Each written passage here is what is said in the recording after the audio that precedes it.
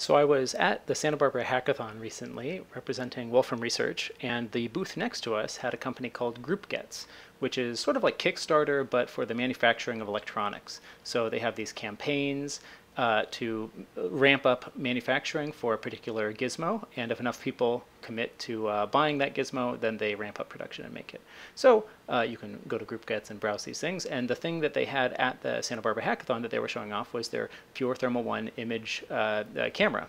So they have this uh, little board that you can buy a FLIR infrared camera and plug that into this socket here. It's powered by an STM32 microprocessor, and you can essentially use a micro USB cable to plug it into your computer, and that computer uh, recognizes it as a webcam.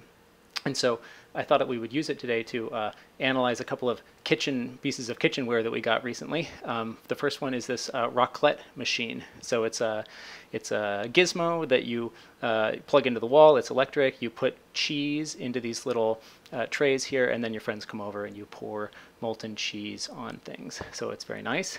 Um, so let's see, where is that?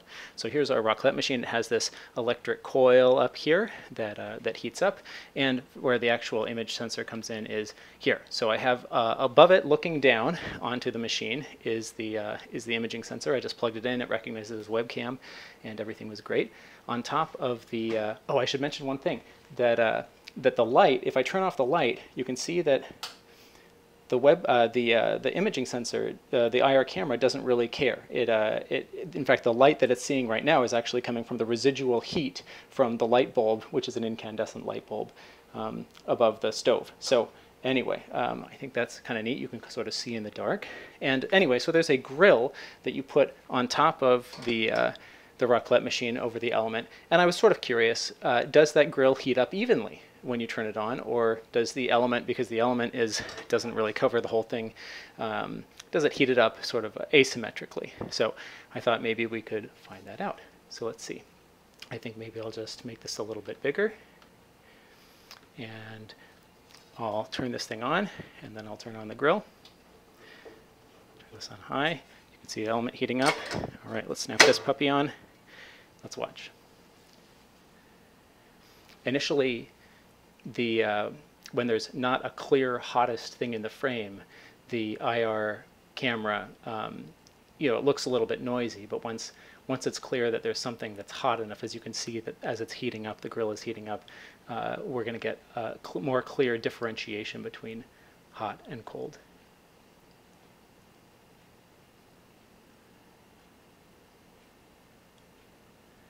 Can see that even the cable is heating up due to resistive heating from the from the current that's flowing through it. Okay, so in this part I want to show how you can use Mathematica to analyze some of the images that we're getting out of the IR camera. So I still have my IR camera set up. Um, there's still the webcam that's showing you what's happening in the real world.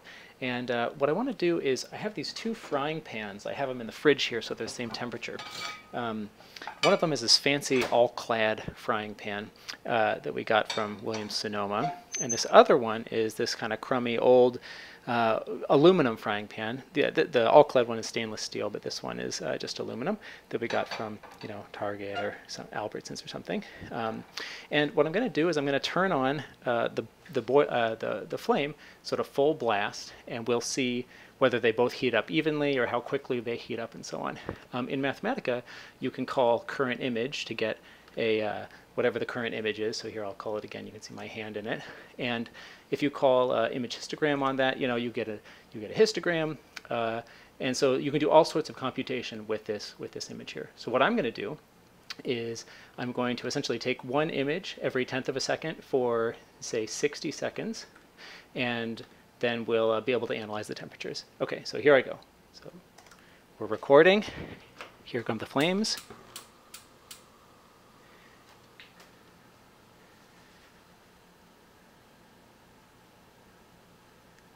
Can see them heating up. The aluminum one is heating up a lot faster. You can see that the handle on the side of the all-clad one is sort of cooling, has a sort of a cooling effect on it. Okay, so at this point we've taken some data from the infrared camera. It's of the form uh, it's a list of pairs, and the first element of each pair is uh, the time that the image was taken, and the second one is the image itself. And we're mostly uh, worried about the image itself. We could do an analysis of the times and verify that the times were, uh, the images were all taken a tenth of a second apart, but let's just focus on the images for brevity. So the first thing we can do is, uh, let's see, let's grab all the times, and those are the first element of each pair, and all the images, which are the second element of each pair. So the images, uh, if you just look, at, look at them like a list, well, you can see that here I am about to turn on the burner, then I turn on the burner, here the flames ignite, and uh, the, the, the pans heat up. You can see them getting really hot, and uh, the camera is auto-adjusting the exposure um, and you can see that there's a couple of places where the camera kind of glitches a little bit. Okay, so that's fine. So those are all the frames that we took. There's 600 of them. And we could also view this as a sort of an animation with manipulate. We say, I want to see the ith element of the images, the variable is, where i goes from 1 to the length of that list in steps of 1. So here we can drag this thing and you can see it turn on and so on. You could even just have it play for you and everything. So you get your little movie there. That's nice. Okay, so let's just pick a uh, pick a random image from the list of images. Here's one. And uh, at this point, what we want to do is we're trying to analyze each pan separately. So we'd like to crop out the left pan from the right pan. And one way to do that is with this mask tool. We'll uh, make a little mask here. I'll drag this little circle out, and with this little circle here, then I can say copy as an image. And so then if I just paste, if I say m equals paste, then I will have this picture here that is all black pixels and these white pixels, and I can use this with like image multiply. I can multiply the image of interest by the mask, and I will just get the um, the left burner here. And I can then say image crop of that, and it'll crop it for me there. So, okay, so I've already done that um, with this mask here, mask 1 and mask 2, by the left burner and the right burner. Uh, here's the list of the two masks. I can image multiply the image by the uh, left mask and get this and the right mask here. And if I run it through image crop, I will then get a nice cropped image. I can run it through color convert to turn it into grayscale because we really just care about the brightnesses. And now I'm ready to do that for every single image. And so I'll make a table, which is uh, essentially a, a Mathematica's Mathematica has for loops, but a table is can sometimes be more succinct.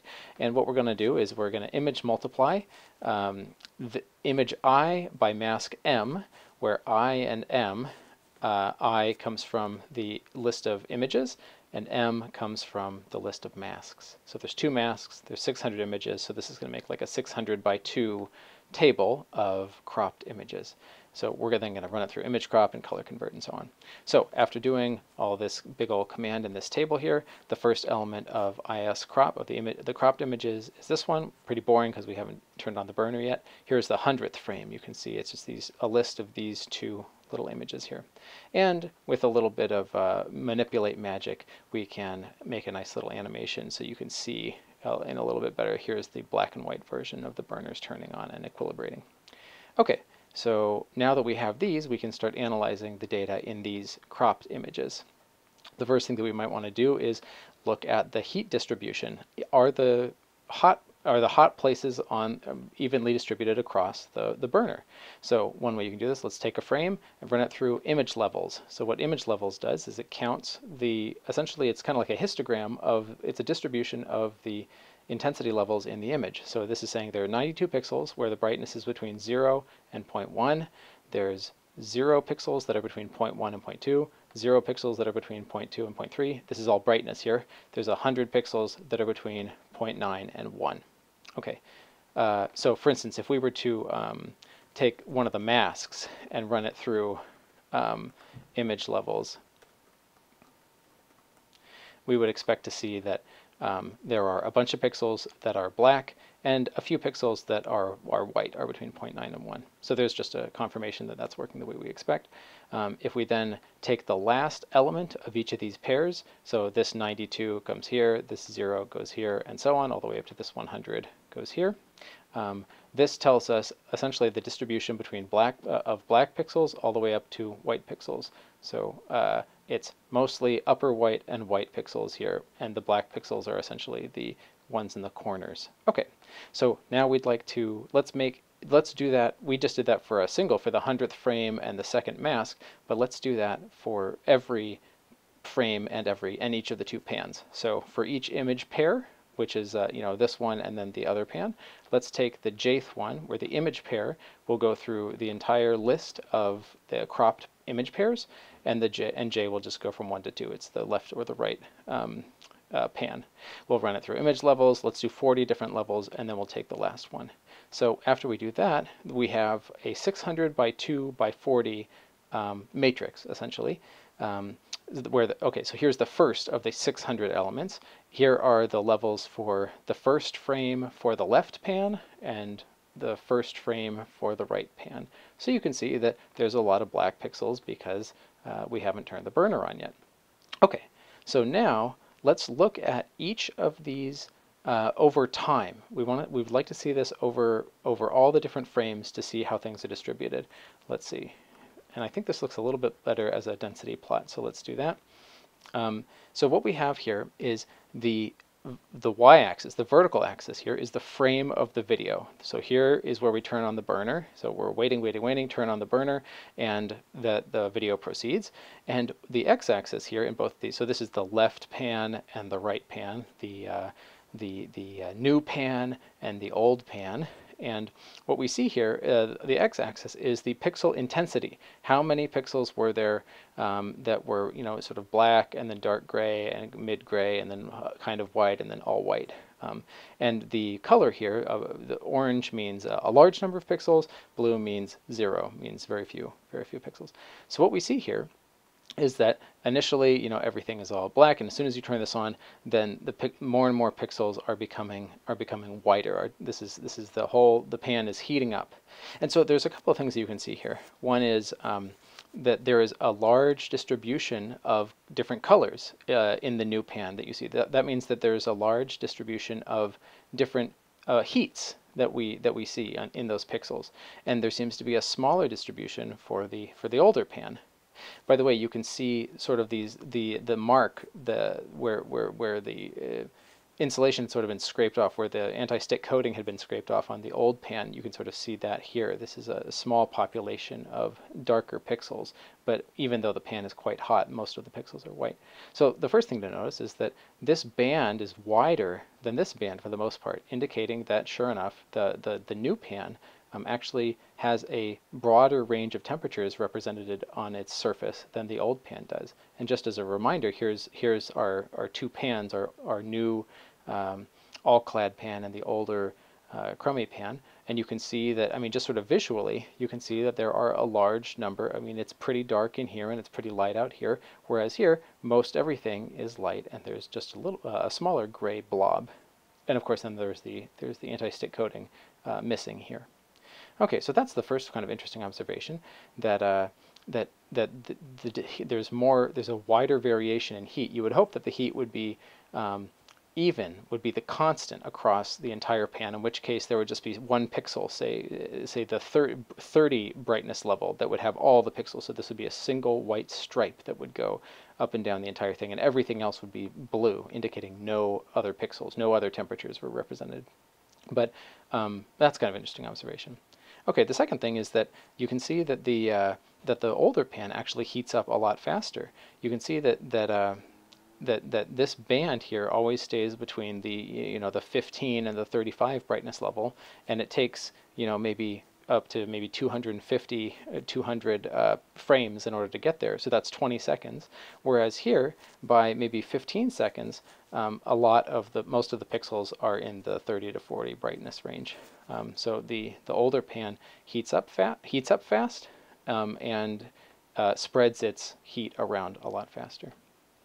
Okay, so one last thing to see. Um, so here's a let's make a cute animation that shows that shows essentially the same thing. Um, so if you take the image data out of this uh, this picture here, so you get a let's see, you get a essentially a matrix of pixel values. Um, and so here's the first row of that matrix, here's the second row of that matrix, and so on. Okay, and if you give that matrix of pixel values to a list plot 3D, you get a nice plot that you can drag around and look at this. So this is the hundredth frame, the second pan, so the one on the right, the old pan, and here is the the listing. Uh, the, uh, here is a, a, essentially a heat map, a heat surface plot of the temperatures. Uh, here one essentially means brightness of of one, so it's the hottest, whatever, however hot the um, the uh, camera scaled that temperature to. Okay, so by the way, this business with the slash slash is just uh, Mathematica's postfix notation. You can, you know, that you could you can do the exact same thing if you don't like the slash slash by doing by uh, composing function calls like this. So that's fine. Um, here you can you can uh, make a manipulate to see this whole thing in action, and here we'll just rewind it all the way and play it, and you can see the burner turning on and the thing heating up and everything. And every time you pause it, um, Mathematica will refine the plot a little bit. Um, now, one thing that might have occurred, uh, you, you might have noticed here, is that at the very beginning, this looks this looks kind of weird, and the reason is the y scaling is is all off. Um, we need some way we need to tell listplot3d that the y-axis should always go from zero to one, and it shouldn't be auto-scaled. Um, the other thing is that uh, yeah, we should also make sure that we scale the uh, the two sides to be as big as the, the, the images. And so the image is a 23 by 23, and so we'll tell listplot3d to plot in the range where x goes from 1 to 23, y goes from 1 to 23, and z goes to zero, from 0 to 1. And so if we do that, um, and we can also do that with both the left pan and the right pan, then we get this image where you can see the uh, the burners turning on and uh, let's just pause at a certain point here where we can sort of in the middle, you can see that the leftmost burner, the new burner, has this, these interesting lobes as they begin to heat up, whereas the right pan, um, uh, it, the, their lobes are less pronounced. The older pan, the aluminum pan, the, the lobes are less pronounced. And my interpretation of that is that these must be the burner flames themselves. And in aluminum, which has a higher coefficient of thermal uh, conductivity, um, the heat is spread around a lot more quickly and a lot faster. Whereas with the other pan, um, which is stainless steel, the heat from the burner doesn't spread out as evenly as fast. And that's consistent with our observation that it that uh, it, it doesn't uh, spread the heat around as well in the in the density plots. So anyway, you can see this animation sort of play up, and it's it's kind of cool. Cool. Well, that's it. So in conclusion, I guess what we did today was we looked at, um, we set up an IR camera from GroupGets. Uh, we took some data with Mathematica from that camera, and then we analyzed it to get a sense of whether the uh, this new expensive pan is uh, is actually superior to the to the Chromie aluminum pan. Of course, I mean obviously the downside with the aluminum one is that then you know if the uh, if you're not careful with it, you're going to scrape off the coating, and then all hell breaks loose. So anyway, I hope you enjoyed this video and thanks for watching.